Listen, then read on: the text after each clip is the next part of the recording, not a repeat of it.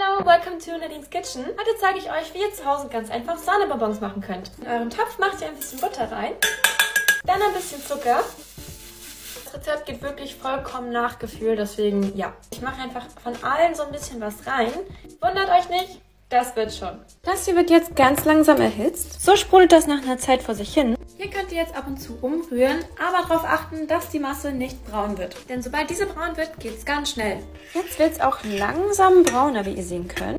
Und die Konsistenz verändert sich. Jetzt sieht es so aus und wir müssen die Masse rausnehmen. Ich mache das mal auf so einen Teller, weil sonst klebt ihr euch alles voll. Hier haben wir die Sahnebonbons. Weil ich sie natürlich mit der Hand forme, sehen sie nicht so ganz perfekt aus, aber schmecken tun sie richtig gut. Also, Taste-Check.